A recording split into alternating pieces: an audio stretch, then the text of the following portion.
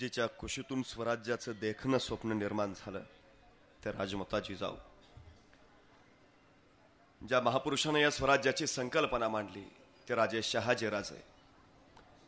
ज्या वारसदारानं हे देखणं स्वप्न सत्यामध्ये उतरवलं ते राजा शिवछत्रपती. आणि ज्या वारसदारानं हे देखणं सत्य आपल्या खांद्यावर लिहिलं या पेललं ते राजा शंभू छत्रपती या महापुरुषांना प्रथमतः अभिवादन करतो. खर तर इतिहास विसरणारी माणसं इतिहास घडवू शकत नाहीत आणि इतिहास घडवणारी माणसं इतिहास विसरू शकत नाहीत हा एक इतिहास आहे. निरक्षर मराठ्यांचा इतिहास वर्णाक्षराने लिहून ठेवावा इतका तेजस्वीने ओजस्वी इतिहास याच मातीत घडला. मात्र साक्षर मराठी त्यापासून बेदकाल राहिले की काय अशी एक शंका अलीकडे येऊ लागली होती. पण शिवजन्मोत्सवाचा हा नारायणगावचा सोहळा पाहिला आणि आजही शिवछत्रपतींचे मावळे या सह्याद्रीच्या मावळ खोऱ्यात तसेच जिवंत आहेत याची चाहूल सहजपणे आमच्या या प्रवासामध्ये झाली.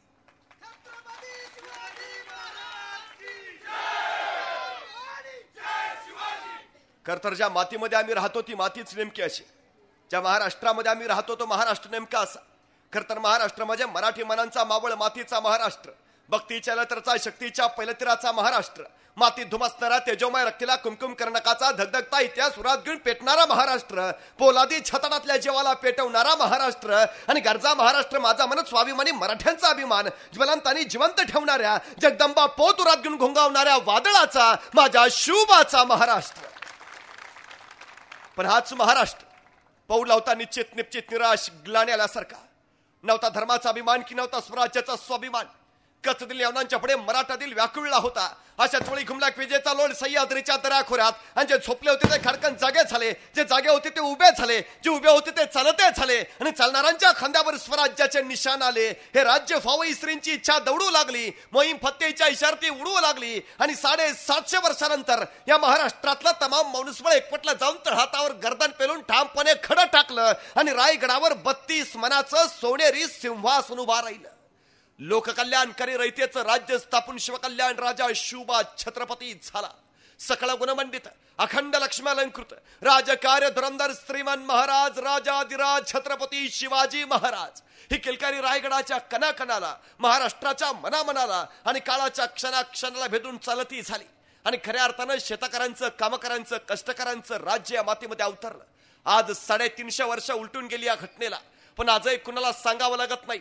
छत्रपती शिवाजी महाराज कोण होते? आज कुणाला बोलावं लागत नाही. छत्रपती शिवाजी महाराजांनी काय केलं? अरे दूरवर एखादी किलकारी ऐकू येते. छत्रपती शिवाजी महाराज की. आणि आमच्या ओटातून कधी जय बाहेर पडतं? हे आमचं आम्हाला कळत नाही. जणू काय आमच्या धमन्यातून ससणाऱ्या रक्ताच्या थेंबा थेंबामध्ये राजा शिवाजी अजून जिवंत आहेत? जणू काय इथल्या मातीमध्ये जन्माला येणाऱ्या प्रत्येक पोराच्या भाळावर इथली माती जन्मताच शिवाजी? ही तीन अक्षर कोरणच त्याला जन्माला घालते की काय? असं वाटा इतकी जादू या राजाची आहे. असं काय केलं असेल या राजाने? असं काय निर्माण करून ठेवलं इथं? काळाच्या पटलावर तर काही राजे झाले महाराज झाले सम्राट झाले बादशाह झाले सुलतान झाले आले तसे निघून गेले. पण राजा शिवाजी हे नाव मात्र चिरंतन राहिलं. असं कसलं कर्तृत्व? कसलं नेतृत्व? कसलं असेल ते व्यक्तित्व? कसा होता काळ? एखाद्या महापुरुषाचा लेखाजोखा जर मांडायचा झाला तर त्याला वर्तमान काळात आणून चालत नाही. त्याला त्यांच्या काळात न्यावं लागतं. तत्कालीन सामाजिक आर्थिक धार्मिक राजकीय परिस्थिती बघावी लागते. आणि मग त्या पार्श्वभूमीवर त्या महापुरुषाचं कर्तृत्व तोलावं लागतं. मग शिवा छत्रपतींच्या कर्तृत्वाचं ज्यावेळी एक परंपरागत गणित आम्ही मांडतो त्यावेळी कसा होता शिवपूर्व काळ कशी होती महाराष्ट्राची अवस्था? मासाहेब जिजाऊ ज्यावेळी शिवबाना घेऊन पुण्यात आल्या त्यावेळी कसं होतं पुणे? उद्ध्वस्तोच तोच कंगाल झालेलं. राया रावानं गाडवाचा नांगर फिरवला होता इथनं. सगळी धरती बकाल करून टाकली होती. याच मातीमध्ये एक पहार रोवली एक तुटकी वाहन फुटकी कवडी त्याला अडकवली आणि सांगितलं इथं वस्ती करणं अशुभ. जो कुणी वस्ती करेल त्याचा निर्वांश होईल. आणि बघता बघता माणसं त्या भीतीनं परागंदा झाली. मासाब जिजाऊ तिथं आल्या. राज्य करायचंय जहागिरी चालवायची आहे. पण राज्य करावं कुणावर? जहागिरी चालवावी कुणावर? कोण होता तिथं? दगडा धोंड्यांवर की कुत्रा गिधडांवर अरे माणसं होती कुठं? माणसं दूर सह्याद्रीच्या कडेकापऱ्यात दबा धरून बसलेली जीव मुठीत घेऊन राहिलेली जगण्यासाठी मरायचं आणि मरण्यासाठी जगायचं एवढाच अट्टास मांडत असलेली तिथं आल्यात मासाहेब असते असते आजूबाजूच्या डोंगर दऱ्यांवर नजर फिरवली. दऱ्या खोऱ्यातून दबके डोळे दिसू लागले. मासाहेबांनी मग त्या रयतेच्या डोळ्यांना घातली साध. या या परतीय गावात. रयतेने विचारलं कुणाच्या भरोशावर आणि कडाडल्या जिजाऊ? तुमच्या शिवबा भरोशावर. या राजे समर्थ आहेत. पण रयतेने बोट दाखवलं. मातीच्या उरात रोवलेल्या पहारीकडं. कसं यावं इथं? इथं वस्ती करणं अशुभ. वस्ती केली तर निर्वांश होईल. आणि त्या सरशी मासात झाल्या पुढं मातीच्या उरातली ती पहार उचकटली भिरकावून दिली. मी राहीन इथं. होऊ द्या माझा झाला निर्वांश तरी. ही जिजाऊ समर्थ आहे. आणि निर्वांश व्हायची भीती बाजूला ठकलून अंधश्रद्धेचं जोकट भिगारून देऊन मासाहेब स्वतः शुभांच्या संगतीनं तिथं राहायला लागल्या. ज्या मातीतनं गाढवाचा नांगर फिरला होता त्याच मातीत मासाहेबांनी शिवबांच्या हातून सोन्याचा नांगर फिरवला. इथली माती जशी नांगरली तशी इथल्या माणसांची मनही नांगरली. इथल्या मातीत जसं धान्याचं बीज पेरलं तसं इथल्या माणसांच्या डोक्यात स्वराज्याचं बीज पेरलं. आणि बघता बघता इथली माती आणि इथली माणसं उपजाऊ झाली. माणसं विश्वासानं गावात परतू लागली. घर कुजबुजू लागली. गावं गजबजू लागली. पण बघता बघता रहितेला पुन्हा एकदा प्रश्न पडला.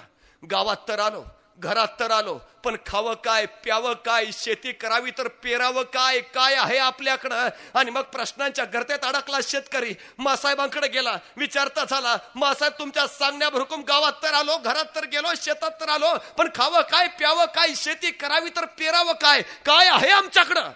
आणि मग त्यावेळी त्यावेळी महाराष्ट्रातली पहिली सहकारी संस्था उभा राहिली. या सहकारी संस्थेचं नाव होतं स्वराज्य आणि या संस्थेच्या संस्थापिका होत्या मासाहेब जिजाऊ. या स्वराज्य नावाच्या संस्थेतून इथल्या शेतकऱ्यांना बिबियानं दिली खतं दिली बैल जोड्या दिल्या. बघता बघता शेतकरी रानात गेला पेरणी झाली. मातीचा ऊर फोडून हिरवे कोंब डोकावू लागले. वराबरोबर हलू लागले उन्हाबरोबर झुलू लागले. बघता बघता भरू लागले. मोत्यासारख्या दाण्याची कणस लगडली. शेतकरी आनंदित झाला. कष्टाला फळ आलं पण त्याच वेळी काळचा पावटा उठली. अरे कष्टाला फळ आला मोत्यासारख्या दाण्याची कणस लगडली. पण यवनांची टोळधाड कधी येईल? उभ्या पिकात नंगा नाच मांडेल. सगळा हैदोस करेल पिकं उद्ध्वस्त करेल. घोड्यांच्या टापाखाली सगळी पिका तुडवेल सगळे कष्ट वाया जातील काय करावं? आणि भेदरलेली रॅट मग आली शोभांकडं. विचारती झाली तुमच्या सांगण्या भरकुम गावात तर आलो शेतात तर गेलो पेरणी तर झाली. मोत्यासारख्या दाण्याची कणसाई लगडली पण यवनाची टोळधाड कधी येईल? उभ्या पिकात नंगा नाच मांडेल घोड्यांच्या टापाखाली सगळी पिकं उद्ध्वस्त करेल. काय करावं? त्यावेळी शोभा विचारता झाला तुमच्या मोत्यासारख्या दाण्याच्या कणसावर पाखरं बसून आहेत म्हणून तुम्ही काय करता?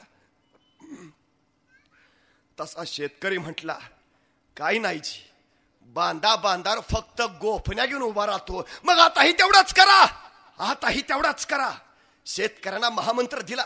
आणि दुसऱ्या दिवशी शेताच्या बांधा बांधावर इथला शेतकरी गोपण्या उभा राहिला. अचानक वावट उठली धुरळा सुटला. घोड्यांच्या टापा ऐकू आल्या. आली आली आली. यवनांची टोळ धाड आली. आता उभ्या पिकात घुसणार हायदोस म्हणणार. शेतकरी थरारला बरारला हातातल्या गोपण्या फिरविरल्या दगडा भरली आणि घरा घरा फिरल्या. सुटली दगडा दना दना दना थार थार थार थार आदरत राहिली. आक्रोश किंकांडी आरवल्या रक्ताच्या चिळकांड्या वावटळ सुटत राहिली वादळ घुमत राहिलं. आणि बघता बघता लक्षात आलं घोड्यांच्या टापा मंद झाल्यात.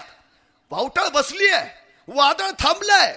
शेतकऱ्यानं पिकाकडे बघितलं. लक्षात आलं पिकं सुरक्षित राहिलीत. आणि मग त्यावेळी आनंदानं लकाकलेला शेतकरी धावत धावत शिवबांकडे गेला. विचारता झाला राज राज राज पिक सुरक्षित राहिली जी. तसा शिवबा राजा कडाडला. आता जशी पिकाची राखण करायला शिकला तशीच मातीची राखण करायला उभारा आणि कालपर्यंत पिकाची राखण करणारा इथला शेतकरी आता मातीची राखण करायला धारकरी म्हणून उभा राहिला.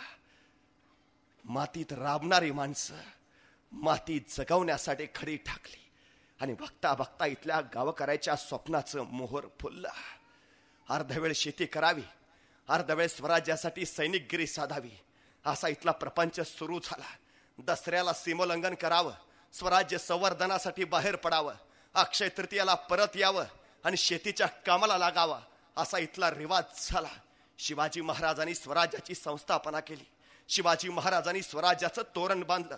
पण कुणाच्या बळावर कुणाच्या आधारावर कोण होतं मदतीला कोण होतं पाठीश शिवराजांच्या सोबत होती. या मावळ खोऱ्यातली अठरा पकड जातीची बारा बोलते दरांची चड्डी लंगोटीतली सगळी सवंगडी पोर या पोरा ठोरांच्या बळावर शिवबाराजांनी प्रपंच उभा केला. या सगळ्या चड्डी लंगोटीतल्या पोरांना शिवबाराजे सोबत घ्यायचे. दूरवर एखाद्या दाट जंगलात जायचे. जंगलातल्या आतल्या दाट झाडीत तिथं पोरांना तलवारबाजीचं युद्धाचं प्रशिक्षण द्यायचंय पण कुणाला नकळत कुणाला कळणार नाही अशा बेतानं. आपलं आत काय चाललंय ते बाहेर कुणाला कळू नये म्हणून शिवबा राजांनी जंगलाच्या बाहेरच्या झाडावर एक पोऱ्या उभा केलेला असायचा. त्याला सांगितलेलं असायचं कुणी अनोळखी माणूस येताना दिसला की तू नुसता खुनेचा आवाज कर. तुझा खुनेचा आवाज ऐकला की आम्ही तलवारी शस्त्र लपून ठेवतो आणि विट्टीदांडूचा खेळ सुरू करतो. म्हणजे कुणाला कळणार नाही आपलं आत काय चाललंय ते. त्या दिवशी शिवबा राजेंचा खेळ रंगात आला होता. पोरांना तलवारबाजीचं युद्धाचं शिक्षण प्रशिक्षण दिलं जात होतं.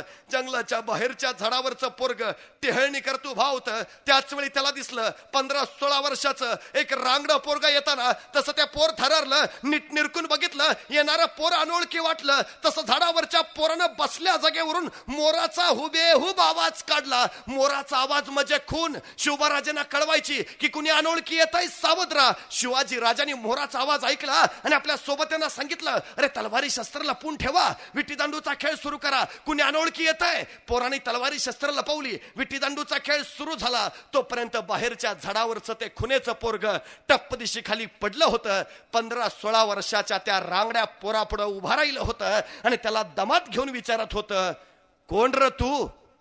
आणि ते पंधरा सोळा वर्षाचं रांगड पोरग सांगत होतं रामोशाचा बहिरजी जी काय काम काढलंस रे? काय नाही जी.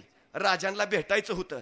कार बोलू की राजांना मग सांगतो. खुनेचं पोर म्हणलं तो ता महताच. मी राजासनी सांगावं देऊन येतो. खुनेचं पोर गात गेलं. राजांना सांगू लागलं राजा कुणी रामोशाचा बहिर्जी आलायची राजा म्हटले दे पाठवूनात. बहिर्जी आत आला. राजांपुढे उभा राहिला. राजाने विचारलं काय काम काढलंस रे?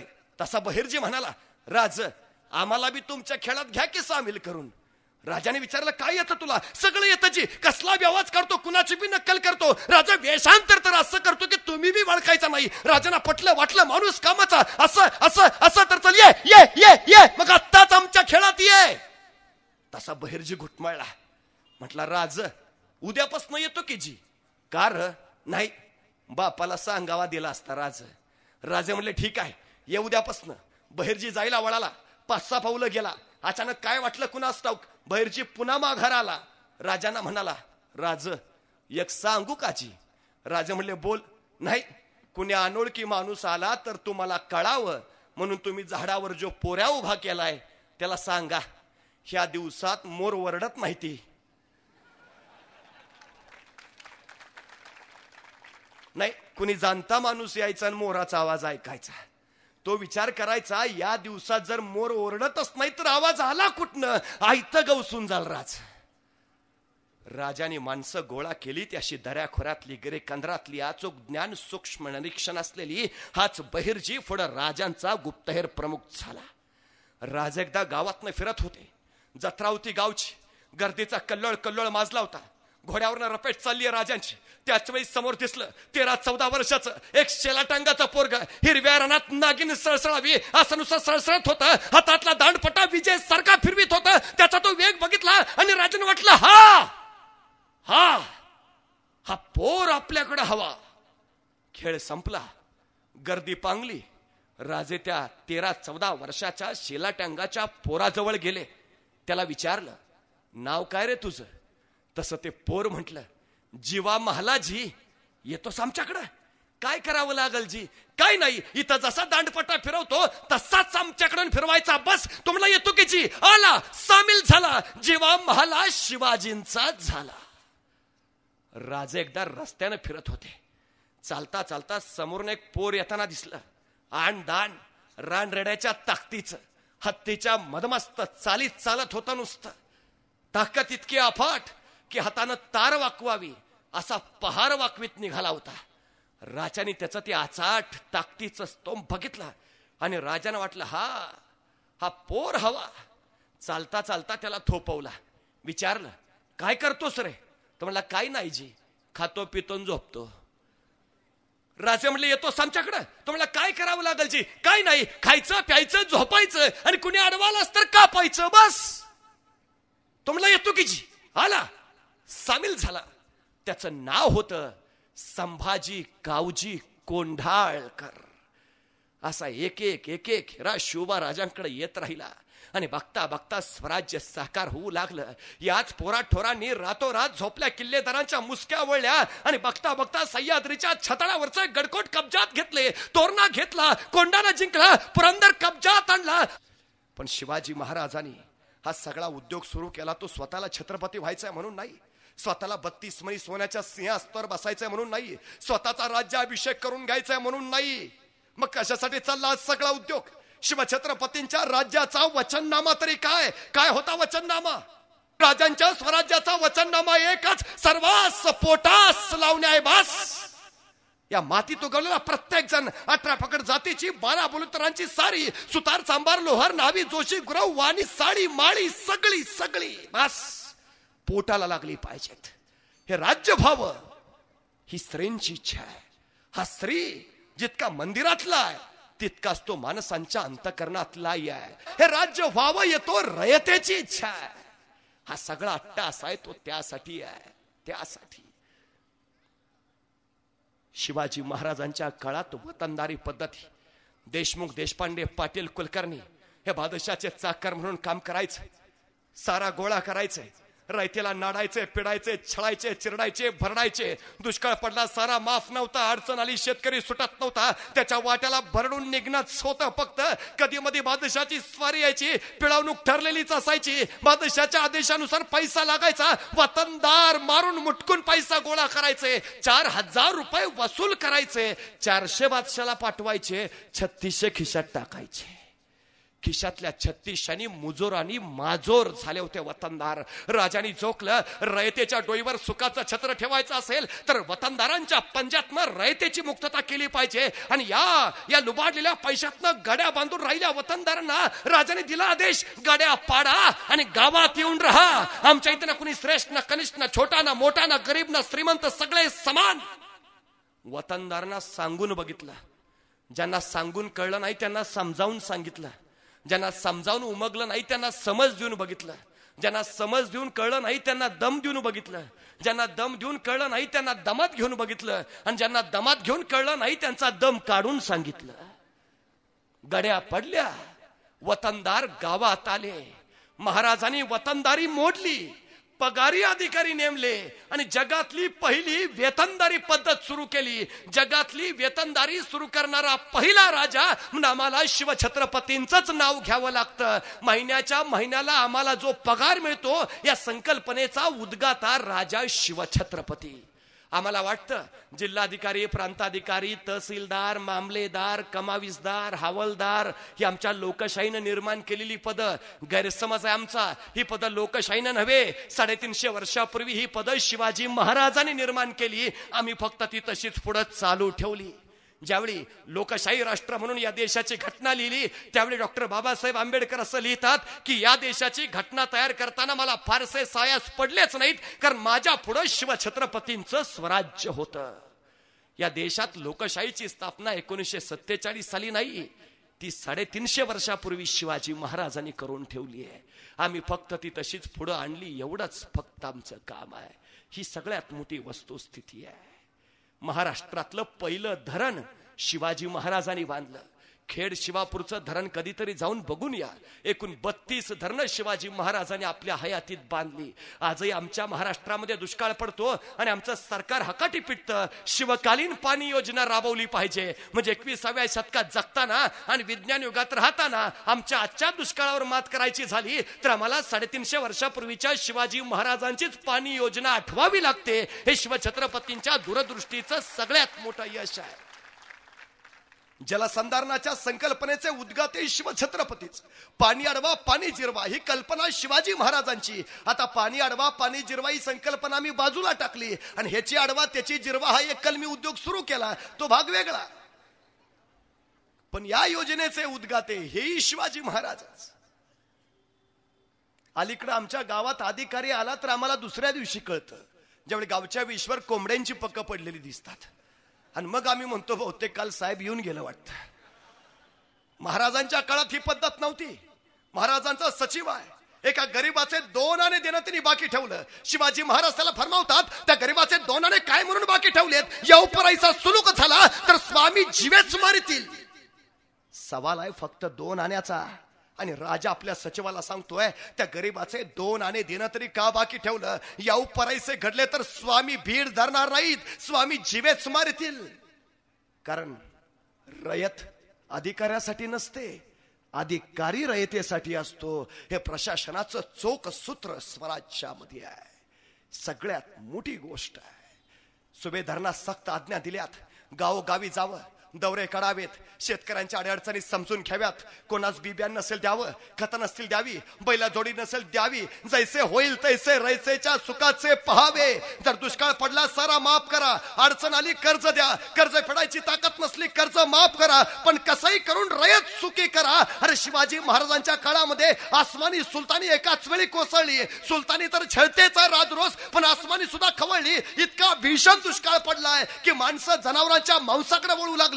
आणि बापाची नजर पोराच्या मांसावर पडू लागली. इतकी भयानक अवस्था आणि इतक्या भयानक अवस्था असताना सुद्धा शिवरायांच्या काळात महाराष्ट्रातल्या एकाही शेतकऱ्यानं आत्महत्या केली नाही. हे शिवशाहीचं सगळ्यात मोठं यश आम्हाला म्हणावंच लागेल. कारण शिवाजी महाराजांनी इथल्या शेतकऱ्यांना मातीत मरायला नाही शिकवलं. त्यांनी या मातीतल्या माणसाला मातीसाठी उभा केलं आणि मातीसाठी मरायला शिकवलं. रडून मरण्यापेक्षा लढून मर. रडण्यात पुरुषार्थ नाही लढण्यात पुरुषार्थ आहे. हे शिवचरित्राचं सगळ्यात मोठं सूत्र आहे. इथली माणसं उभा केलीत ना ती त्या तत्वावर उभा केलीत. इथला माणूस मिळत तसाच जागा केला त्यांनी. अलीकडे आमच्या महाराष्ट्रामध्ये आत्ता आत्ता ग्रामस्वच्छता अभियान आली. हा गंधारी मुक्त गावांची घोषणा झाली. निर्मल ग्रामांची उद्घोषणा झाली. रायगडावर जा करी तरी साडेतीनशे वर्षापूर्वी शिवाजी महाराजांनी बांधलेली शौचालय आम्हाला आजही बघायला मिळतील. झाडे लावा झाड जगवा हा संदेश शिवाजी महाराजांनी दिला. ज्या गडावर गेले तिथं आंब्याची बाग लावली ज्या किल्ल्यावर गेले तिथं वनराई फुलवली झाडे तो लेकुरी आपली लेकुरा सरकी जपावी सक्त आदेश आहे महाराजांचा सक्त. परवा परवा स्वित्झर्लंडच्या झुरिचमध्ये जगातल्या सर्वोत्कृष्ट किल्ल्यांचं प्रदर्शन भरलं होतं. जगातले उत्तमोत्तम किल्ले त्या प्रदर्शनात मांडले होते. इजिप्तचे ग्रीकचे रोमचे चीनचे रशियाचे सगळे. आणि या जगातल्या सर्वोत्कृष्ट किल्ल्यांमध्ये जगात सर्वोत्कृष्ट ठरला तो माझ्या महाराष्ट्रातला राजगड. शिवाजी महाराज सोळा वर्षाचे होते त्यावेळी तो बांधायला सुरुवात झाली. आणि शिवाजी महाराज सव्वीस वर्षाचे झाले त्यावेळी तो बांधून पुरा झाला. जगभराच्या अभियंत्यांनी शिवाजी महाराज नावाच्या अभियंत्याला मुजरा केला. आताही जर कधी रायगडावर गेलात तर एकानी सिंहासनात जवळ उभारा दुसऱ्यानी नगारखान्याखाली या. आणि कितीही नगारखान्याखाली हळू आवाजात बोला सिंहासनावर ते स्पष्ट ऐकू येतं. शिवरायांच्या काळात मोबाईल नव्हता पण महाराजांचा कारभार हा मोबाईल कारभार होता ही वस्तुस्थिती आहे. कारण नगारखान्याखाली ज्यावेळी एखादा तक्रारदार आपली तक्रार किल्लेदारला सांगायचा त्याच वेळी ती तक्रार सिंहासनावर बसलेल्या शिवाजी राजांच्या कानावर पडायची. तक्रारदाराला आपली तक्रार पुन्हा राजांपुढे सांगावीच लागायची नाही. तोपर्यंत राजाने त्याच्या तक्रारीचं निराकरण केलेलं असायचं. हे जे सगळं चाललं ते रयतेच्या हिताचं रयतेच्या सुखाचं. महाराष्ट्रातली पहिली जमीन मोजणी शिवाजी महाराजांनी केली. पाच हात लांब पाच मुठी चौदा तसूंची लांब काठी. या काठीच्या परिमाणाच्या आधारे महाराष्ट्रातल्या जमिनींची शिवाजींच्या हयातीत तीन वेळा मोजणी झाली. आमच्या नावावर आता जे सातबारे दिसत आहेत ना त्या सातबाऱ्यांचा उद्गाता राजा शिवछत्रपती. शिवाजी महाराज नसते तर आमच्या नावावर सातबारे सुद्धा दिसले नसते. महाराष्ट्रातला शेतकरी महाराष्ट्रातली रयत उभा करायचं आणि खऱ्या अर्थानं जगायला समर्थ बनवण्याचं महत्तम कार्य हे शिवछत्रपतींनी केलं. ही वस्तुस्थिती आहे. महाराष्ट्राचे जनक म्हणून शिवछत्रपतींचा मी गौरव करतो तो एवढ्यासाठी आणि बघता बघता हेच रयतेला कळू लागलं की राजा आपल्यासाठी सर करतोय राजा आपल्या सुखासाठी झटतोय राजा आपल्या हितासाठी तडपडतोय. अरे राजा जर आपल्यासाठी एवढं सगळं करतोय तर मग आपण राजासाठी काहीतरी केलं पाहिजे. मग माणसं राजांच्या कार्य सामील सामील व्हायला लागली. मग तानाच्याला बाजी चिमणाच्याला नारायणाला मुरारबाजाला येसाच्याला कर्तोच्याला माणसं येत राहिली मांद्याळी वाढत राहिली. स्वराज्य बुलंद होत राहिलं. सह्याद्रीच्या गडकोटांवर भगवा दौलत ध्वज फडकू लागला. पण त्याच वेळी विजापूरच्या शाही दरबारात बडेबेगम साहेबाच्या काळजात मात्र कल्लोळ उठला आणि भर दरबारात बडेबेगम साहेब कडाडली. माझ्या दरबारात असाही काही मर्द शिल्लक नाही का जो त्या शिवाजीचा निकाल लावेल? आणि उभा दरबार स्तब्ध झाला. शांत चिडचुप. स्मशान शांतता सारे. बडे बेगम साहेबा विचारत राहिली असा एक बी मर्द नाही.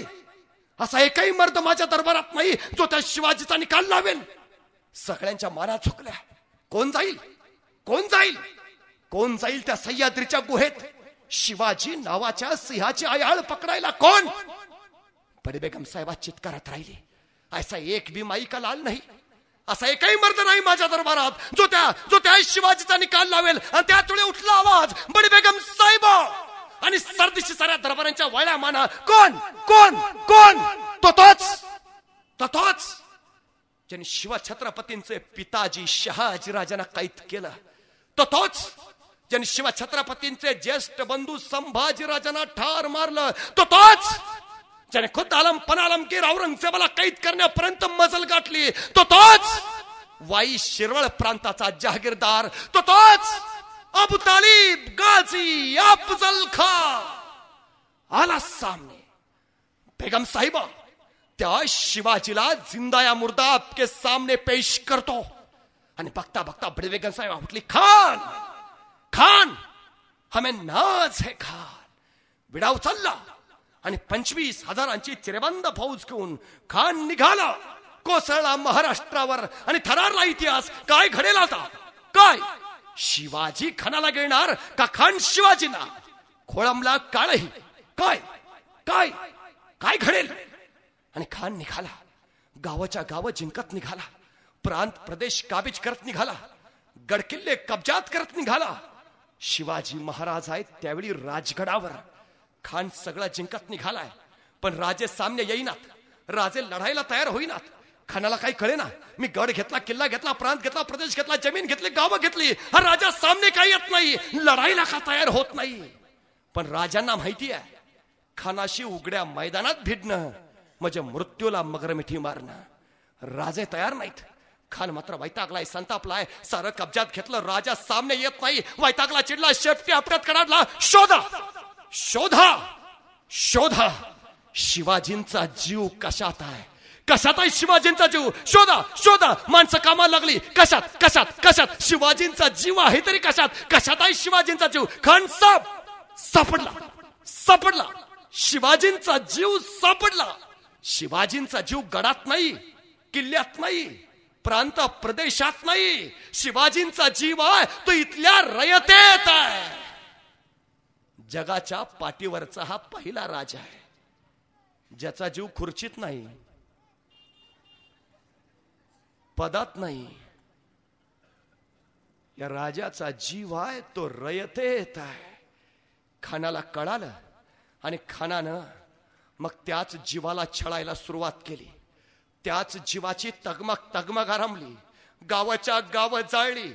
कोलियाम कत्तली आरंभल्या आक्रोश टिंकणी आरवल्या जखमांचे ढीग मुर्द्यांचे कच आणि प्रेतांची आरास नुसती कल्लोळ उठला व्याकुळतेचा राजा गहिवरला आणि कनाडला राज्य कुणासाठी?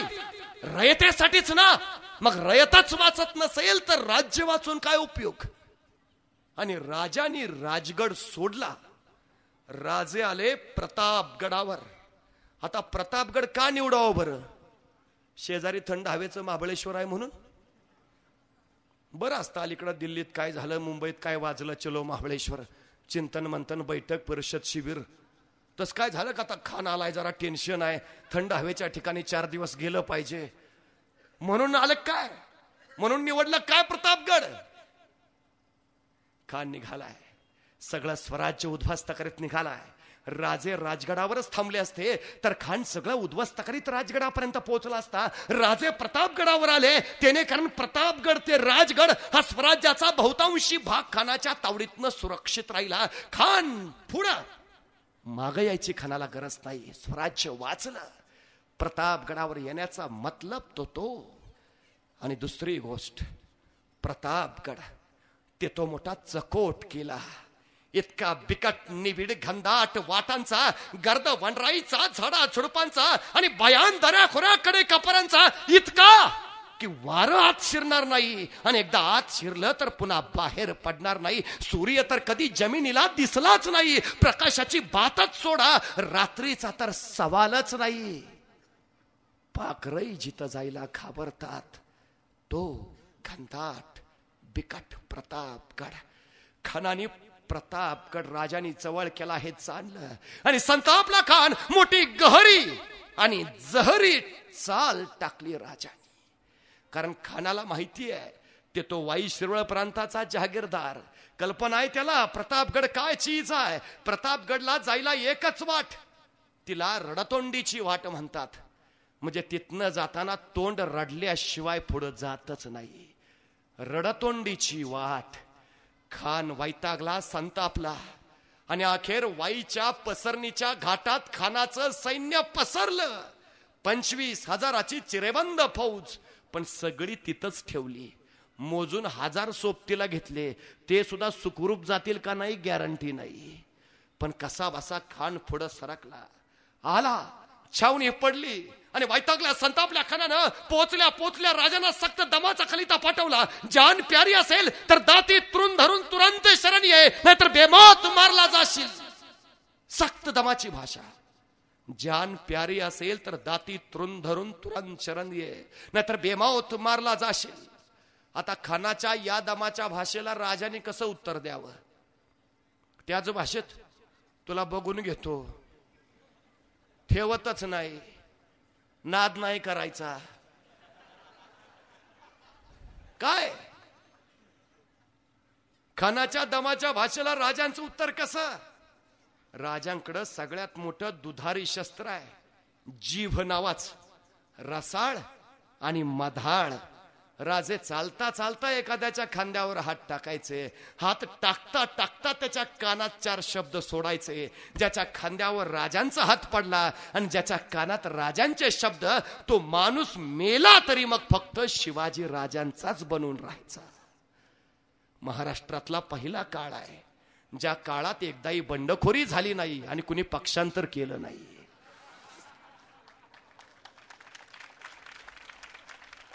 ही निष्ठावंतांची मांद्याळी याच शस्त्राच्या बळावर तर शिवाजी राजांनी मिळवली.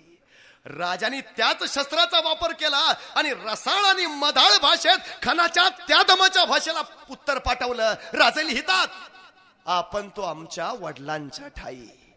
आम्ही आपलेच. राज्यही आपलंच. आपल्या म्हणण्यानुसार आम्ही आलो असतो आपल्याकडं. पण आम्हाला आपली भीती वाटते. त्यापेक्षा आपणच आमच्याकडं या ना. म्हणजे आम्हाला जरा धीर येईल. हरभऱ्याच्या झाडावर चढवला खान आपण तो आमच्या वडिलांच्या ठाई. आम्ही आपलेच. राज्यही आपलंच. आपल्या म्हणण्यानुसार आम्ही आलो असतो आपल्याकडं. पण आम्हाला आपली भीती वाटते. त्यापेक्षा आपणच आमच्याकडे या ना. म्हणजे आम्हाला जरा धीर येईल. पण खान काही कच्चा बच्चा नव्हता. राजांची चाल तो जाणून आहे तुरंत दुसरा खलिता पाठवला. वक्त बर्बाद करू नकोस नाहीतर परिणाम भयान होतील. तुरंत फिलफोर चरणीय ये. आणि राजांना कळालं खान सीधा नाही. सीधी उंगली से घी नहीं निकलेगा. उंगली तो टेढ़ी ही करनी पडेगी.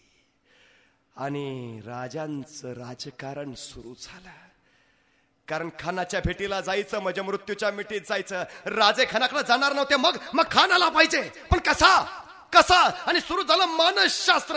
राजांचं मानसशास्त्र. आणि दिला आदेश शेरांना शोधा शोधा शोधा शोधा खान कुणाचा ऐकतो? कुणाचा ऐकतो खान? शोधा. माणसं कामाला लागली. कुणाचं? कुणाचं? कुणाचं? खान ऐकतो कुणाचं? महाराज सापडला. खान ऐकतो कुणाचं?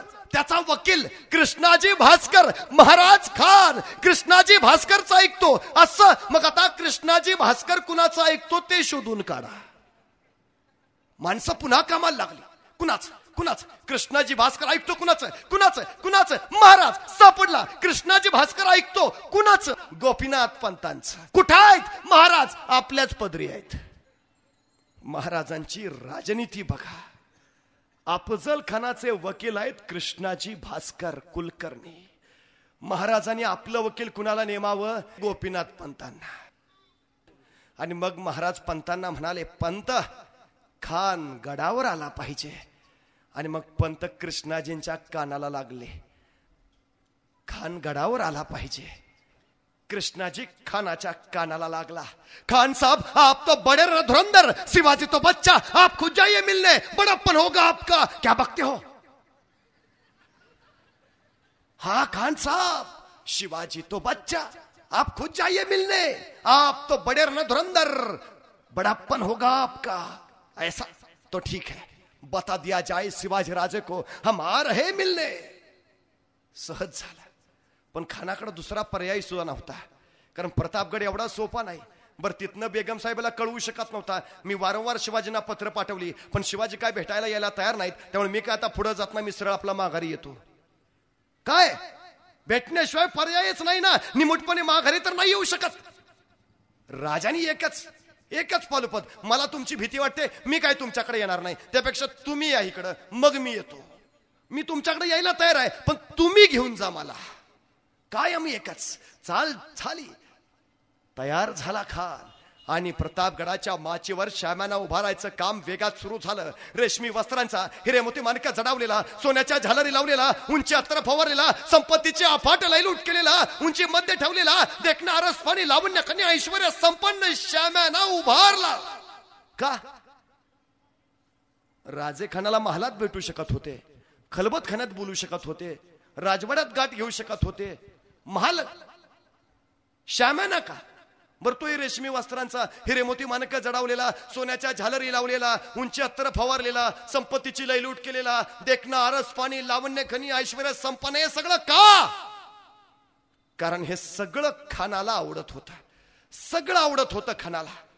मानसशास्त्र आहे राजांच. साधी गोष्ट आहे. समजा आपण रस्त्याने निघालोय. आणि चालता चालता रस्त्याने चाललोय. तो नुसता दिसावाचाच नाही ठोकला तर सांगतो. तो फक्त सापडावाच बास संपला ठेवतच नाही. दुमसतच निघालोय. तो नुसता भेटावाचाच तुळवलाच बास ठेवतच नाही. असल्या रागात आपण दुमसत निघालेलो असतानाच आपल्या वाटेत आपल्या अत्यंत आवडीची व्यक्ती येते. आणि मग तिच्याकडे बघायच्या नादात आपण कुठं निघालेलो हीच लक्षात राहत नाही. महाराजांनी तेच केलं. खान निघालाय धुमसत निघालाय शिवाजींना जिंदाया मुर्दा पेश करतो असं म्हणत निघालाय आणि अशा धुमसत निघालेल्या खानाच्या वाटेत राजाने त्याच्या अत्यंत आवडीचं ठेवलं. ठेवला. रेशमी वस्त्रांचा श्याम्याना हिरे मोती मानक सोनं संपत्ती उंची मध्य उंची अत्तर आफाट लावण्य ऐश्वर सगळं. आणि खानानं बघितलं बाप बहुत खूप! खान भरावला निम्मा खाली विसरला. कशाला आलतो आपण? मानसशास्त्र आहे राजांचं. आणि साधी गोष्ट आहे. समजा आपल्या घरी पाहुणे येणार असतील तर घरात आधी हजर कोण पाहिजे? आपण का पाहुणे? आपल्या घरी पाहुणे येणार आहेत मग स्वागताला आधी घरात हजर कोण? आपण. मग आता शिवाजी राजांकडे खान पाहुणा म्हणून येतोय मग श्याम्यानात आधी स्वागताला हजर कोण पाहिजे? शिवाजी. पण असत नाहीत. कारण पहिले शिवाजी दिसून उपयोग नाही. पहिल्यांदा शिवाजी दिसले की जिंदाया मुर्दा पेश करतो. पहिल्यांदा श्याम्याना दिसला पाहिजे. ऐश्वर दिसलं पाहिजे संपत्ती दिसली पाहिजे लावण्य दिसलं पाहिजे म्हणून राज आहे. स्वागताला श्यामेनात नाहीत. उलट खान येतोय त्यावेळी राजा दरडीच्या माग. खान आहे कसा येतो कसा चालतो तयारी सज्जता कशी सगळं निरखताय खान आला पहिली चाला चुक राजानी दुसरी चाल टाकली. आपला वकील पाठवला खानाकडं. आणि वकील सांगू लागला खानाला खान साहब शिवाजी राजे चाहते हैं. आप सैयद बंडा को बाहर निकाले. क्यों? हुजूर शिवाजी राजे डरते हे सय्यद बंडा असे. झाल खान म्हणला ही माझ्या नोकरलाच घाबरतय माझ्या पुढं काय टिकायचं? उगा टेन्शन घेतलं मी. उरला सुरला खान आणखी खाली आणला. सज्जता झाली आणि मग राजे निघाले. पण भेटीची वेळ ठरवली ती सुद्धा अचूक. राजे गडावरनं येणार आहेत. श्याम्याना खाली आहे. सूर्य डोक्यावर अशा ठिकाणी आहे की खानानं राजांना निरखायचं म्हटलं तर काही दिसू नये पण राजाने खानाला बघायचं म्हटलं तर सगळं स्पष्ट दिसावं. सूर्य बरोबर डोक्यावर आहे. वेळ आहे बारा वाजून पस्तीस मिनिटाची. राजे गडावरनं खाली निघाले. खाली बघितलं श्याम्यानं स्पष्ट दिसला आणि खानानं राजांकडे बघायचं म्हटलं सूर्याची किरणा सरळ डोळ्यात घुसली. काजवे चमकले काही दिसेना. वेळ सुद्धा चुक. त्याच घटकेला राजे निघाले सोबत घेतलाय जीवा महाला संभाजी कावजी. इथं तानाजी नाही बाजी नाही मुरारबाजी नाही येसाजी नाही. इथं घेतला जीवा. इथं घेतला संभाजी कावजी का? जीवा महाला एवढ्यासाठी कारण समोर सय्यद बंडाय तसाच दांडपट्टा फिरवणारा. संभाजी कावजी एवढ्यासाठी कारण खान तसाच आहे धिप्पाड हत्ती सारखा आणि संभाजी तसाच. आखाड्यात उतरवायचं म्हटलं तर पैलवान एकाच गाठातला असावत. म्हणजे कुस्ती रंगते. राजानी माणसं निरकली आणि पारकली तीही अचूक. आणि राजे निघाले. खानाला वर्दी मिळाली. शिवाजी राजे येत आहेत खान उठला श्यामनाच्या बाहेर आला. समोर पाहिलं पाच साडेपाच फूट उंचीचे राजे शिवाजी देखणे रुबाबदार आज ते कदम येत आहेत. खानानं वकिलाला विचारलं "ये हे शिवाजी? वकिलानं मान डोलावली आणि खान दोन पावलं पुढे झाला. भाऊ फैलावले. आओ शिवाजी राजे आणि राजा असते कदम म- गडा मिठीसाठी खानाच्या मिठीत घुसले आणि बघता बघता खाना भाऊ राजांच्या पाठीवर पडले. दाब वाढला जोर पडला. राजा आवळे गेले मिठी गुदमरली आणि त्याच वेळी खानाची कटार राजांच्या मस्तकावर नांगर कापडीत निसटली. दगा जाणवला वागणका निघाली. खूप असली पोटात दगा!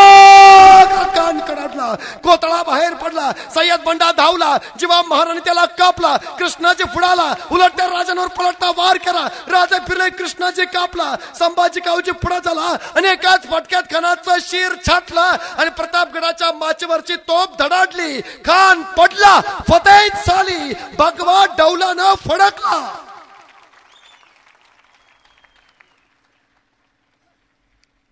पण एक विचार करायचा इथं. खानाच्या ऐवजी शिवाजी महाराज मारले गेले असते तर? तर नारायणगावला शिवछत्रपतींवर बोलायला नितीन बानुगडे पाटील आलेच नसते. ना इतिहास ना स्वराज्य ना ताटकना जगण्याचा ना अस्मिता ना दौलत काही काही राहिलं नसतं. स्वराज्याला वळण देणारं सगळ्यात महत्वाचं वळण आहे. इथूनच शिवरायांची कीर्ती दिगंत झाली. इथूनच शिवरायांचा जय जयकार झाला. आणि इथून स्वराज्य फडकू लागलं. शिवाजी या नावाचा थरार इथून दुश्मनांच्या काचात झेपावला. सगळ्यात सगळ्यात महत्वाची गोष्ट आहे. पण खान पडला. मरणानंतर वैरही संपलं. राजानी त्याच खानाची मोठ्या इतमामात प्रतापगडावर कबर देखील उभारली. धर्म सहिष्णू राजा शिवाजी. ही ही वास्तवता मला लक्षात घेता आली पाहिजे. आणि सगळ्यात सगळ्यात महत्वाची गोष्ट आहे. सगळ्यात. खान बलाढ्य आहे. खान आफाट आहे. खान ज्यांनी खुद्द आलमगीर औरंगजेबाला कैद करण्यापर्यंत मजल गाठली. खान ज्यांनी शहाजी राजांना कैद केलाय. खान ज्यांनी शिवछत्रपतींचे बंधू संभाजी राजांना ठार मारलाय. तोच बलाढ्य खान आता भोसल्यांच्या कबिल्यात उरल्या एकल्या शिवाजी राजांवर चालून आलाय. कशा असेल परिस्थिती? कसा असेल थरार? कशी असेल मानसिकता तेवढी शिवाजीराजांची एवढा बलाढ्य खान येतोय काय असेल मानसिकता? का राजे त्यावेळी म्हटले असतील तानाजीला तानाजी एवढी वेळ जातो का तू? नाही सकाळपासून जरा अस्वस्थच वाटतंय बहुतेक बीपी पण वाढला असेल. असं कर एवढी वेळ तू जा मग पुढच्या वेळी मी बघतो. नाही लढे सिपाही और नाम सरदार का अशी पद्धत नाही शिवरायांकडं। जिथं मरणाडवा आला तिथं राजे स्वतः मरणाला भिडले. जिथं मृत्यू सामने आला तिथं स्वतः राजाने मृत्यूशी झुंज घेतली. शिवाजी म्हणूनच शिवाजी झाले.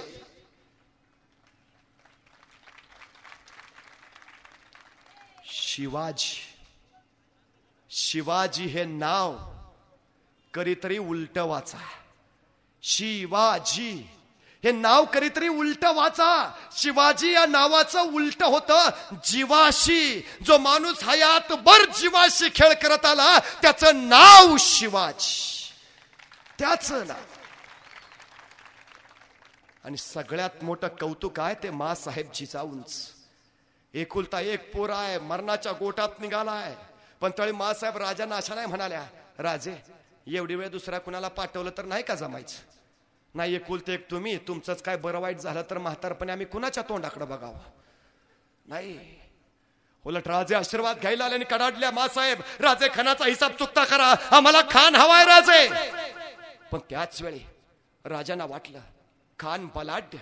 यदा कदाचित खानाच्या तावडीतनं आपण जिवंत परतच नाही आलो तर तसं ते मासाहेबांना म्हणाले मासाहेब कदाचित कदाचित खानाच्या तावडीतून आम्ही जिवंत परतच नाही आलो तर तशी कडाडली सौदामिनी राजा नाहीच परत आला तरी जिजाऊ समजून जाईल. आम्ही पहिल्यापासूनच निपुत्रिक होतो म्हणून. पण आमच्या काळजीनं तुमची पावलं रेंगाळता कामा नयेत राजे. जा! मेलात तरी चालेल. शिवाजी घडतो ना तो अशा संस्कारात ना. हल्ली आमची पद्धत बदलली. आता आमची आई आमच्या पोराला शाळेच्या सहलीसाठी एसटीत बसवायला जाते. आणि एसटीत बसवताना त्याला म्हणते बाळा मधल्याच सीटवर बस हा? बाळ म्हणतं का? नाही पुढनं कुणी ठोकलं तरी तू सुरक्षित. मागणं कुणी धडकलं तरी तू सुरक्षित. बाळात तू जगला पाहिजेस. आमची सगळी धडपड पोरं जगवण्यासाठी. अरे जिथं पोरं जगण्यासाठी तयार केली जातात ना तिथं पोरं खूप लवकर मरतात. आणि जिथं पोरं मरण्यासाठी तयार केली जातात ना तिथं पोरं मेली तरी पूर्ण उरतात. हा शिवचरित्राचा सगळ्यात मोठा सिद्धांत आहे. सगळ्यात. आणि इथून इथूनच कळलं इथल्या मावळ्यांना राजा आपल्यासाठी मरायला तयार आहे. राजा आपल्यासाठी जीव द्यायला तयार आहे. अरे राजा आपल्यासाठी मरायला तयार आहे. मग आपण का नाही? आणि मग सुरू झाली स्पर्धा. तानाजी म्हणायचा राजा द्या किडा. राजा जातो की मी? राजा भिडतो की मी? राजा मरतो की मी? तसा बाजी म्हणायचा अरे ताना आम्ही हाय हो अजून? ती काय नाही राज? ही मोहीम आपल्याला पाहिजे. आपण जाणार राज. आपण मरणार राज. तसा यसाजी म्हणायचं अ बाजी आपण शो डाव आपलाय. राज मी जाणार. मी जाणार राज. राज मी लढणार मी मरणार राज. जगाच्या पाठीवरचा पहिला काळ आहे जिथं माणसं मरण्यासाठी स्पर्धा करतायत. मरण्यासाठी. काय दिलं असेल शिवाजी राजाने? तानाजीला सांगितलं कोंडाण्याचं रायबाचं लग्न काढलंय त्यावेळी तानाजीनं. तानाजी रायबाचं लग्न बाजूला टाकतो. कोंढाण्याचं लग्न करायला जातो. काय दिलं शिवाजी महाराजांनी? किती माणसं अशी? घरचं काम टाकून समाजाचं काम करणारी. काय सांगितलं असेल तानाजीला? अरे तानाजी कोंडाण्यावर गेला तो परत रायबाचं लग्न करायला आलाच नाही. काय पेरलं राजाने? का राजे म्हटले होते तानाजीला तानाजी तेवढा कोंडाणा घे मग पंचायत समितीच्या तिकटाच तुझं बघतो. का विशाळगडाची खिंड लढवणाऱ्या बाजीला सांगितलं बाजी खिंड लढली पाहिजे तर जिल्हा बँकेवर तुम्हाला घेतो. काय? काय दिलं? राजाने दिला होता महामंत्र. तानाजी त्यातनं सांगायचा हे राज्य माझं आहे. त्यासाठी मलाच लढलं पाहिजे. आणि त्यासाठी मलाच मेलं पाहिजे बस. ही माझी जबाबदारी आहे. शिवचरित्राचा हा वारसा जर आम्हाला आज पेलता आला तर माझा देश महासत्ता व्हायला किती वेळ लागेल? पण पूर्वी भारत माझा देश होता. आता भारत माझा कधी कधी देश झालाय. उद्या तो राहील का? हा सगळ्यात मोठा चिंतनाचा विषय आहे. अशा वेळी आमच्या पोरांच्या हातात शिवचरित्र द्या. राष्ट्रभक्तीचं चालतं बोलतं विद्यापीठ आहे ते. शिवाजी राजांनी किल्ले बांधले हे त्यांचं कर्तृत्व नाही गड उभारले हे त्यांचं नेतृत्व नाही. तर शिवाजी महाराजांनी या मातीत उगवलेल्या माणसातून नॅशनल कॅरेक्टर्स पैदा केली राष्ट्रीय चारित्र्य आणि राष्ट्रीय आदर्श घडवले हे त्यांचं सगळ्यात मोठं कर्तृत्व आहे. कुणी घ्या तानाजी घ्या बाजी घ्या मुरारबाजी घ्या यसाजी घ्या प्रत्येक जणच आयुष्य सांगतं कसं जगावं आणि कसं मरावं. आम्हाला आमच्या आयुष्यात त्या शिवचरित्राचा हा वासा पेलता आला तर किती बरं होईल. आमच्या जे जे सर्वोच्च आहे ते ते जर आम्ही सर्वोत्तमरित्या आमच्या देशाला दिलं तर देश किती लवकर मोठा होईल. पण दुर्दैवानं आमची अडचण ही होते. घरातल्या दिव्याला आम्ही कधी दगड मारत नाही पण रस्त्यावरनं चालता चालता खोळ दिशी टूप फोडण्यात मात्र आम्हाला मोठा आनंद मिळतो. घरातली का फोडत नाही तर माझी आहे. रस्त्यावरची का फोडतो तर माझी नाही. हा देशच आम्हाला आमचा वाटत नाही ही आमची अडचण आहे. शिवाजी महाराजांनी पहिल्यांदा ते केलं हे तुझा आहे! हे तुलाच सांभाळलं पाहिजे! हे तुलाच टिकवलं पाहिजे! तुलाच उभा केलं पाहिजे! आणि तुलाच जपलं पाहिजे बस! सगळ्यात महत्त्वाचा वारसा आहे. सिद्धीचा वेडा पन्हाळ्याला पडलाय. राजे सहा महिने झाला अडकून पडलेत. जून महिना जवळ आलाय. राजांची काळजी वाढली ती एवढ्यासाठी नाही. की आपण सुटलो पाहिजे. राजांची काळजी आहे शेतकऱ्यांची. पावसाळ्याचे दिवस. पण सिद्धीच्या भयानं शेतकरी डोंगर दरात दबा धरून बसलाय. वेडा जर उठला नाही तर शेतकरी रानात येणार नाही. रानात जर आला नाही तर पेरणी होणार नाही. पेरणी जर झाली नाही तर पिकं नाहीत. पिकं नाही मग दुष्काळ. रयतेच्या वाट्याला दुष्काळ येऊ नये म्हणून वेडा उठला पाहिजे. राजांचीच अवस्था नाही. स्वतः महासाहेब जिजाऊ वय वर्ष साठ. सिद्धीचा वेडा फोडायला साठ वर्षाच्या जिजाऊ घोड्यावर मान ठोकून निघाल्या. निघाल्या समशेर घेऊन. नेताजी पालकर आडवाला मासाहेब कुठं? आणि कडाडल्या मासाहेब नेताजी. रयतेच्या डोळ्यातलं अश्रू सुकले आता. रक्त ओघळत तिथून. नेताजी तुमच्या तलवारी वांज झाल्या का तुमचा पराक्रम विझला नेताजी? तसा नेताजी कडाडला. मासाहेब उद्या सूर्यास्तापर्यंत राजे तुमच्या सामने हजर करतो आणि नेताजी सुटला सिद्धी हिलालला सोबत घेऊन छापा मारला पण बळ तोकडा पडलं सिद्धी बलाढ्य निघाला. नेताजी मार खाऊन परतले. सिद्धी वाह वाह मारला गेला आणि राजांना कळून चुकला. शक्तीपेक्षा युक्तीचाच वापर केला पाहिजे. आणि त्या दिवशी त्यांनी बोलावणं धाडलं शिवा काशीद नावाच्या न्हाव्याला. शिवा काशीद येता झाला. राज बोलावणं धाडलं जी. हो शिवा. शिवा. तो आमच्यासारखा दिसतो असा मी खूप ऐकून आहे. शिवा आज आम्हाला प्रत्यक्ष बघायचा आहे तसा शिवानंदानं झळकला. राज आत्ता आलोजी झपटन आत गेला. राजांचा वेश घातला. राजांचा जिरटप मस्तकावर चढवला. आणि राजांसारखाच मिशाला पिळ मारीत राजांच्या सामने आला. राज कसा दिसतो जी? आणि बघत राहिले राजे शिवा! शिवा! शिवा! अरे अरे अरे आरशात आमचंच प्रतिबिंब पाहिल्याचा भास होतो शिवा. तसा शिवा म्हणाला राजा म्हणजे तो सिद्धी बी आम्हाला वळखायचा नाही. आणि स्तब्ध निस्तब्ध झाले राजा. शिवा शिवा शिवा तुला कसं कळलं शिवा? आम्ही तुला आमचं रूप देऊन सिद्धीकडे पाठवणार ते. तसा शिवा म्हटला राज एवढं दिस तुमच्या संगती राहिलो ते उगावय तुमच्या काळजाचं ठोकं बी काय सांगतात ती कळतं आमासनी द्या किडा राज. भिडतो की जाऊन त्या सिद्धीला. आणि राजा सरदेशी समोर केले. शिवाला कडकडून मिठी मारली. आणि राजांच्या डोळ्यातला एक अश्रू शिवाच्या पाठीवर पडला.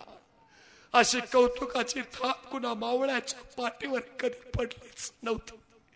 राजांचे हात शिवाची पाठ थोपटत राहिले. आणि बघता बघता डाव ठरला. सिद्धीला निरोप दिला गेला. राजे शरण यायला तयार आहेत. आणि आनंदला सिद्धी आखिर आई गया दक्कन का चूहा सिकंजा पे अब दिखाएंगे आणि कळाला राजे तहाची बोलणी करायला येत आहेत. आता तहाची बोलणी करायला म्हणजे संपलं सैन्य ढिलं पडलं वेडा गापील झाला बेसावधानता सगळीकडे पसरली आणि बघता बघता याच ढिलाईचा फायदा राजाने उठवला. दोन पालख्या तयार केल्या एका पालखीत स्वतः बसले बाजी प्रभूंना संख्येला घेतलं आणि निघाले. ढिलाईचा फायदा उठवली शाळगडाच्या रोखानी आणि सिद्धीशी तहाची बोलणी करायला निघाला. शिवा काशीत राजांचं रूप घेऊन. आता साक्षात राजेच येणार आहेत म्हटल्यावर वेडा चिरेबंद कुठला? तो निव्वळ ढिला. त्याच गोष्टीचा फायदा उठवत राजे सुटले होते आणि शिवाजी महाराज शिवाजी काशीत बनलेले खाली आले होते. पालखी आली सिद्धी पुढं झाला. आओ शिवाजी राजे! आणि पालखीचा पडदा सरकला. असते कदम राजे शिवाजी उतरले गळाभेट झाली आणि सिद्धी म्हणाला चलिये राजे! पण त्याच वेळी दोन संशय डोळे मात्र रोखले गेले होते शिवा काशीतवर पाऊल आत पडता पडता ते दोन संशय डोळे पुटपुटले. ये शिवाजी नाही हो सकता. अरे थबकला सिद्धी! मेहनत सर दिशी निघाली आणि बघता बघता सब दिशी चालली रक्ताची चडखंडी यातनेचा कल्लोळ उडाला. दुसरा वार तिसरा वार आणि अखेर आली समचर वार. सच बता तू या शिवाजी आणि कडाडला शिवा. अरे हा! मग हिव शिवाजी तोपर्यंत वार झाला. रक्त लसलसत बाहेर पडलं. लाख इंगळ्या डसाव्या. तसा वेदनांचा सूर खुमला आणि विचारत राहिला सध्या पता आणि सांगता झाला शिवा रे हा मै हिहू शिवाजी मग मात्र सिद्धी वळाला. त्या दोन संशय डोळ्याकडं. ते दोन संशय डोळे होते. फाजल खानाचे अफजल खानाचा मुलगा. फाजल खा. सिद्धी विचारता झाला कैसे कह सकते हो? ये शिवाजी नहीं है. तसा फाजल खान सांगू लागला हुजूर मैंने देखा है शिवाजी राजे को। अफजल खान वादाच्या वेळी मी बघितलंय शिवाजीराजांना त्यावेळी कृष्णाजी भास्करच्या तलवारीचा वार शिवाजींच्या मस्तकावर झालाय. हे जर खरे शिवाजी असतील तर यांच्या मस्तकावर वाराची ती खून पाहिजे. तसा सिद्धी झपटल्यासारखा पुढे झाला. शिवाचा जिरटोप माग सरला. मस्तकावर वाराची खून नव्हती. शिवा सापडला. समशेर सरसर फिरली. सब दिशे चालली. यात्रांची किंकाळी उठली. आणि बघता बघता समशेर आली गर्दनीवर आणि विचारत राहिला सिद्धी मरण्याचा पहिले आखरी बार पूछता हूं सच बता तू या शिवाजी. आणि कडाडला शिवा. अरे जन्माला जरी शिवा काशीत म्हणाला असलो तरी मरताना शिवाजी महाराज म्हणून मरतोय. हे भाग्य कमी आहे का?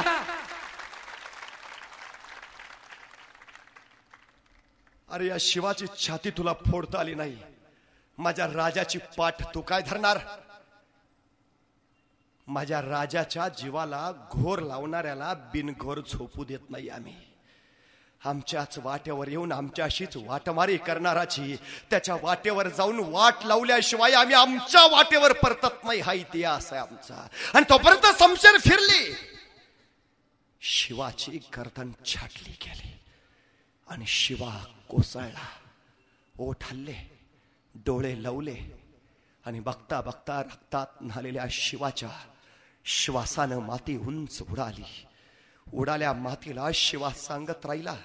सांगा माझ्या राजाला हा शिवा गेला मातीत मेला पण नुसता मातीत नाही मेला मातीसाठी मेला. अरे मातीत मरणारे काही असतात पण मातीसाठी मरणारे फक्त मराठे असतात हे सांगत गेला. आणि संपला शिवा. शिवाला माहिती होत आपण सिद्धीच्या भेटीला नाही आपण मृत्यूच्या भेटीला निघालोय. राजांनी मिठीत घेतल्यावर राजांच्या डोळ्यात ना अश्रू उघळला तो एवढ्यासाठी की माहिती राजांनाही होत आणि माहिती शिवालाही होत. या उपर भेट नाही. या उपर भेटणे नाही. मरणाला अशी खुली खुली सामोरी जाणारी मांदियाळी या मातीत उगवली ना म्हणून स्वराज्य उभा राहिलं. म्हणून शिवाजी महाराजांचं राज्य होतं असं. समतेच. सगळ्या जाती धर्माची माणसं त्यांच्यासोबत होती. शिवाकाशी सरकार न्हावी त्यांच्या पदरी आहे. बहिर्जी सरकार रामोशी त्यांच्याकडं आहे. आमच्या वाई जवळच्या नागेवाडीची पाटीलकी तिने नागनाथ महारला देऊ केली. एवढंच काय? दौलत खान दर्या सरंग नावाचा मुसलमान त्यांचा आरमार प्रमुख आहे. नूर खान बेग नावाचा मुसलमान त्यांचा घोडदळ प्रमुख आहे. इब्राहिम खान नावाचा मुसलमान त्यांचा पायदळ प्रमुख आहे. काझी हैदर नावाचा मुसलमान त्यांचा वकील आहे. आग्र्याच्या भेटीत पाय चपणारा मदारी मेहतर मुसलमान आहे. सगळ्या जाती धर्माची माणसं सोबत आहेत. परक्यांनाही आकर्षण वाटावं आणि परमधर्मीयांनाही स्वराज्य आपलं वाटावं. हा सगळा प्रपंच राजाने तू उभा केलाय.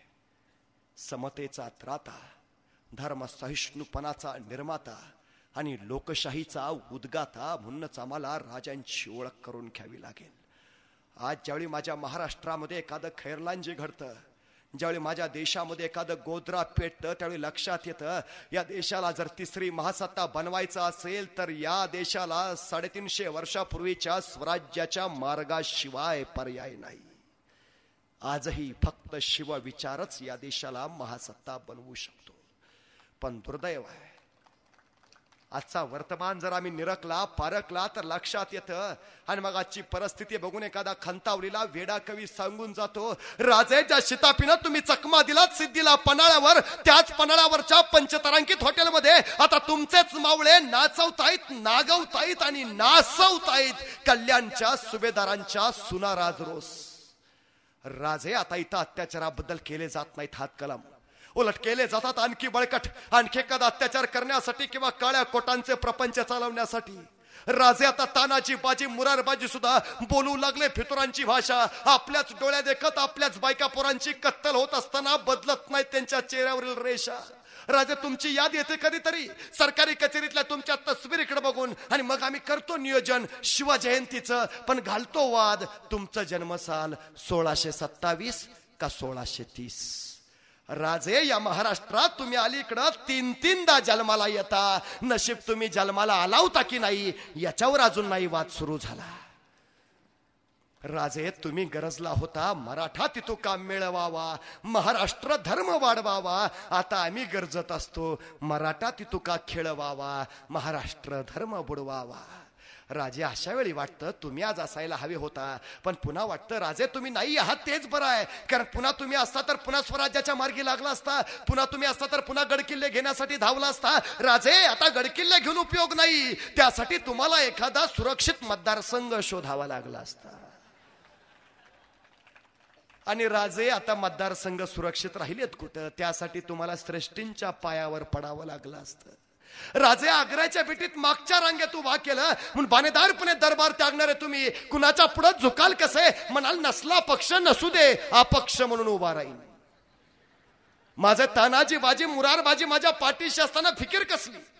पण राजे तुमचे तानाजी बाजी मुरार बाजी तरी आता पहिल्यासारखे राहिलेत कुठं? आत्ताचे आमचे तानाजी बाजी मुरारबाजी नावाचे कार्यकर्तेच वेगळे.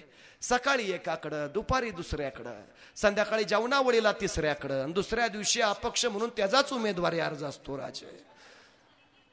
तुम्ही म्हणाल नसला तानाजी बाजी मुरारबाजी नसू दे. एखादा तानाजी तरी भेटेल. राजे सांगाल तुम्ही तानाजीला जा कोंडाना घेऊन ये. तानाजी विचारेल पहिल्यांदा पगार किती देणार? महागाई बत्ता आहे का? आणि एवढं सगळं होऊन जर झालाच तानाजी जायला तयार लागलाच लढू कोंडाण्यावर तर हल्लीचं युग मोबाईलचं आहे राजे तानाजी कोंढाण्यावर लढत असेल आणि खालनं कुणीतरी मोबाईल करेल. अरे काय तानाजी काय चाललंय? ओव्हर टाईम करतो का काय का हिथं सगळं गरमागरम शिजून तयार आहे तुझं आपलं लढाई चाललंय. आणि तू लढून तुला काय मिळायचं? किल्ला मिळायचा शिवाजींना. तू का मरतो पुका? य खाली दहाब्याव पार्टी करू. आणि राजे मग तुम्ही म्हणाल नसला तानाजी नसू दे. जगडू लोकांसाठी लढू जनतेसाठी करू काहीतरी या रयतेसाठी. पण राजे ती रयत तरी त्या लायकीची राहिली कुठं? पैसे घेऊन देह विकणारी बाई. आणि पैसे घेऊन मत देणारी जनता यांच्या तरी आता फरक उरलाय कुठं?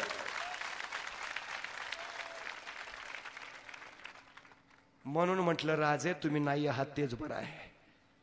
पण वाटलंच तुम्हाला यावं इथं पुन्हा. तर एक करा. येताना एकटे येऊ नका. येताना मासाहेब जिजाऊंना सोबत घेऊन या. कारण जोपर्यंत इथं जिजाऊ जन्माला येत नाही तोपर्यंत इथं शिवाजी पैदा होत नाही. पण राजे आमचं विज्ञान आता इतकं पुढं गेलंय राजे. गर्भात मुलगा का मुलगी ते आता आधीच कळू लागलंय राजे. जिजाऊ आता गर्भातच मारल्या जातात. बाहेर यायचा सवालच नाही आणि शिवाजी उभा राहायचा तर मग प्रश्नच नाही. नाहीतर हल्ली आम्ही म्हणतो घराघरात जिजाऊ असेल तर अंगणा अंगणात शिवाजी दिसेल. पण अलीकडं आमची पोरं सुद्धा अंगणात असतात राजे. शिवजयंतीच्या दिवशी तुमची शिवजयंती केवढ्या थाटात साजरी करतात राजे. अहो गड किल्ल्यावर ज्योती मशाली आणायला पळत जातात राजे. पण ज्योत घेऊन पळणार किती अंतर काटलं हे गाडीतल्या किती बाटल्या संपल्या याच्यावर ठरतं राजे.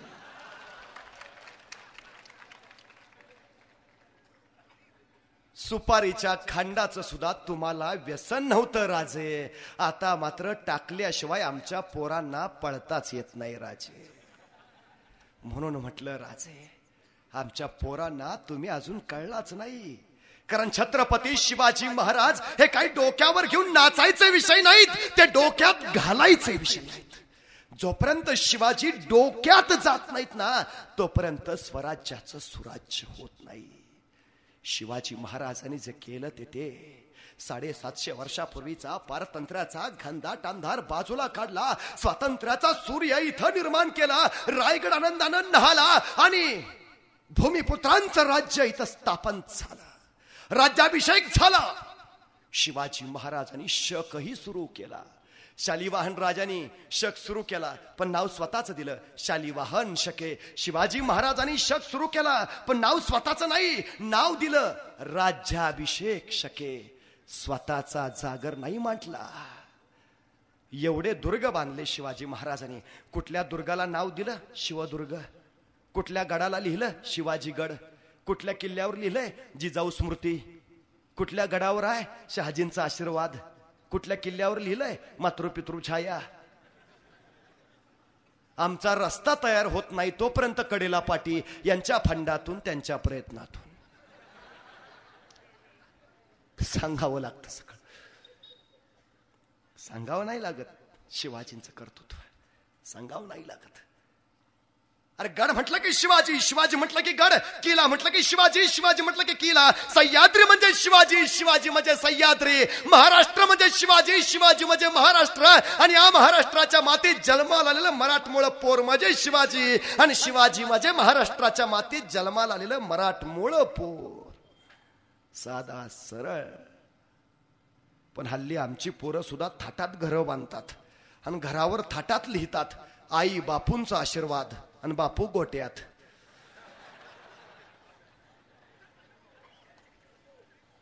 मातृपितृ भक्ती शिकावी ती सुद्धा शिवरायांकडनं.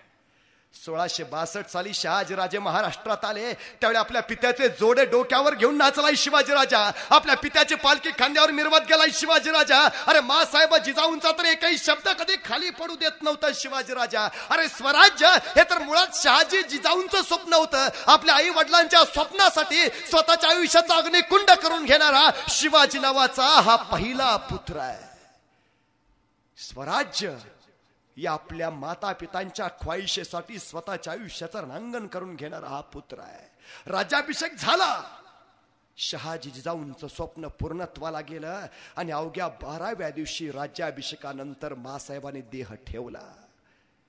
असा पुत्र ज्या माता पित्याच्या वाट्याला ते भाग्यवान आणि असे माता पिता ज्या पुत्राच्या वाट्याला ते पुत्र भाग्यवान. शिवाजी महाराजांनी प्रचंड ताकदीनं महाराष्ट्र पुढं नेला.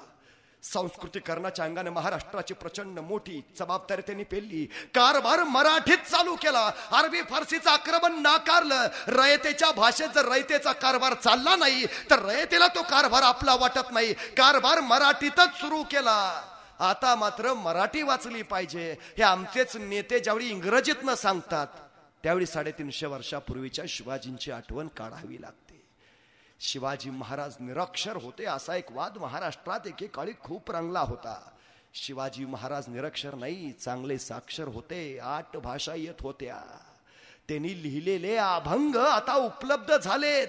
एवढंच नाही स्वतः तर तेज तर्रा आहेतच पण स्वतःचा पुत्र संभाजी राजा संभाजी राजांना सोळा भाषा येत आहेत. मराठी येते संस्कृत येते प्राकृत येते उर्दू येते हिब्रू येते पाली येते कन्नडी येते तामिळ येते. एवढंच काय? दाखले तर असे मिळत आहेत की साडेतीनशे वर्षापूर्वी संभाजीना इंग्रजी सुद्धा येत आहे बुधभूषणम नावाचा ग्रंथ लिहिलाय त्यांनी संस्कृतमध्ये. त्यात ते श्री गणेशाचं वर्णन करताना लिहितात पद पदम पत्र समचरण जंग जिमिकन कर बखर ना ललित गभीर उदर लंबित विशाल वर उर दिर्गती मुंडी कर देत चारी फल एक दंत सुंड लवत हरिजात सकल मल.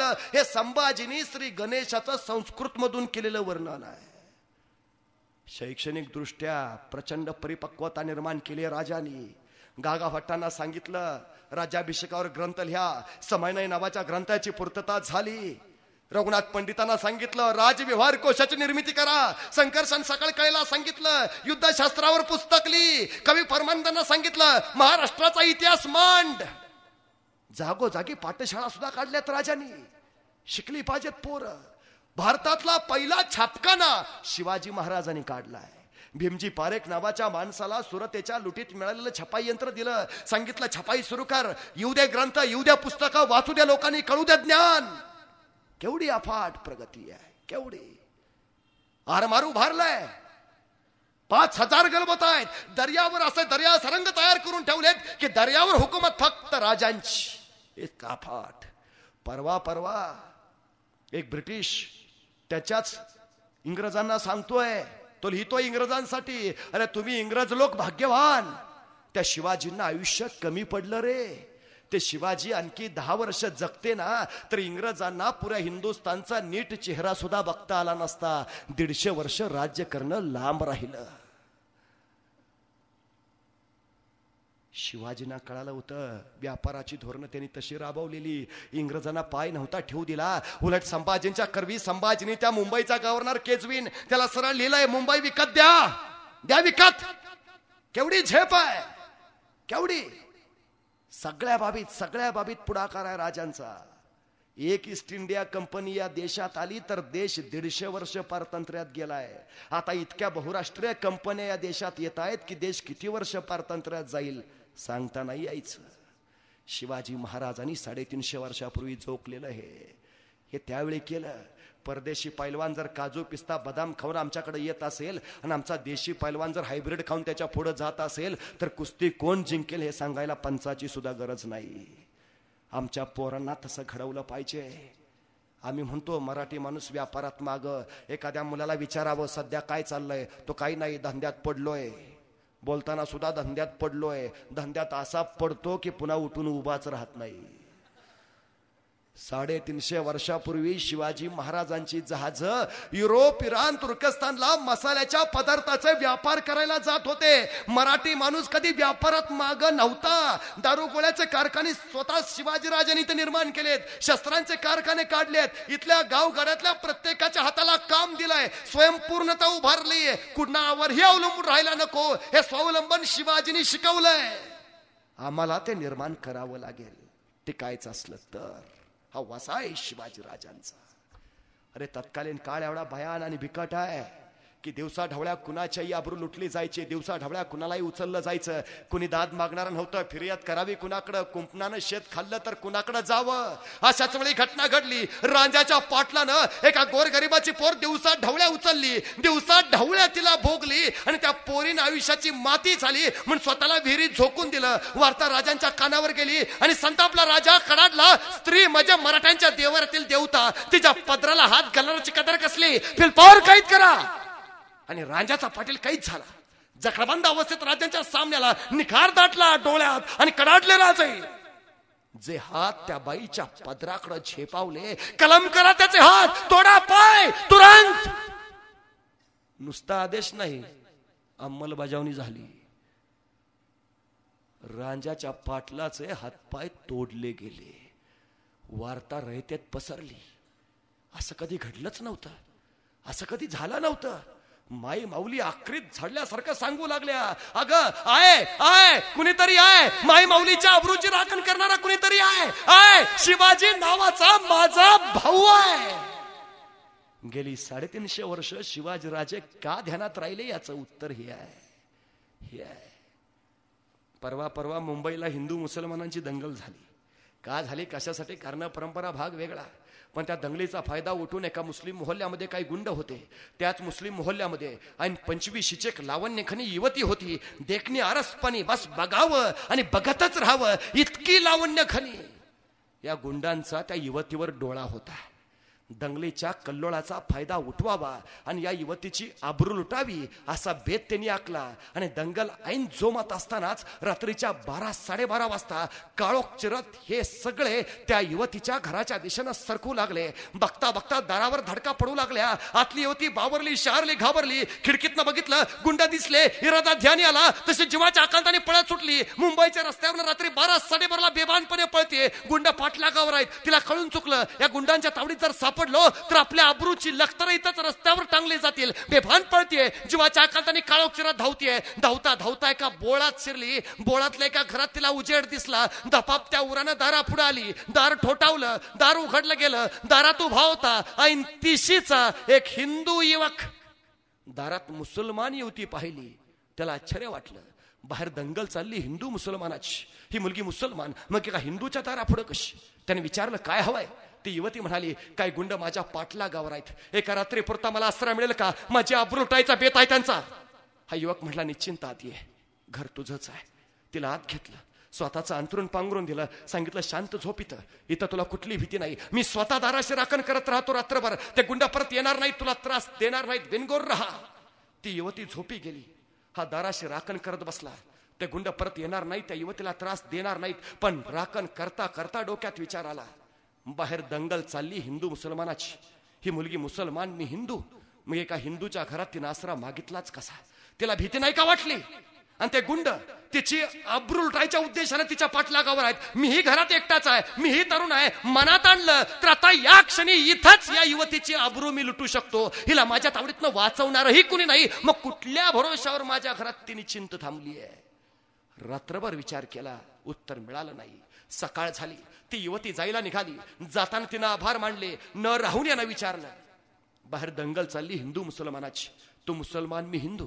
मग माझ्या घरात आसरा कसा मागितलास? ते गुंड तुझी आब्रुटायच्या उद्देशाने तुझ्या पाठलागर होते. पण मी घरात एकटाच आहे. मीही तरुण होतो. मनात आणलं असतं. तर रातोरात मीही तुझी आब्रू उठू शकलो असतो. तुला माझ्या तावडीतनं वाचवणारही कुणी नव्हतं. मग कुठल्या भरोशावर माझ्या घरात थांबलीस?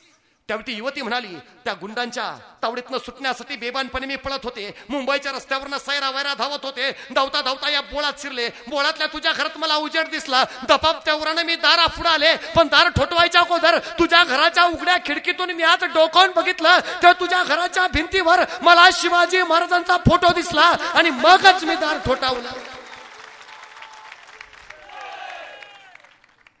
कारण मला माहिती आहे ज्या घरात शिवाजींचा फोटो आहे त्या घरात कोणाच्याही अब्रूला धोका नाही. गेल्या साडेतीनशे वर्षानंतरही माझ्या राजाबद्दल जनमानसांच्या मध्ये जी प्रतिमा आहे ती ही प्रतिमा आहे. शिवाजी राजे स्मरणात आहेत ते एवढ्यासाठी. त्यांचा जय जयकार आहे तो एवढ्यासाठी. त्यांच्या विचारांचा जागर आहे तो सुद्धा एवढ्यासाठी. विष्णू शास्त्री चिपळूणकर एका ठिकाणी असं म्हटले होते मी मराठी भाषेतला शिवाजी आहे.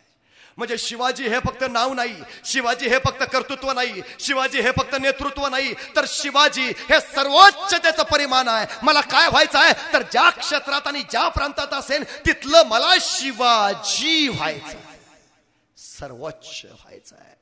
आता शिवचरित्राचा आदर्श घ्यायचा झाला तर तो एवढाच. कुठंही असा. कुठल्याही क्षेत्रात कुठल्याही प्रांतात. अगदी भले शेती करत असा पण तुम्ही तिथले शिवाजी व्हा सर्वोच्च व्हा. जिथं तुमच्यापर्यंत कुणी पोचणार नाही कारण शिवाजी हे सर्वोच्चतेचं परिमाण आहे.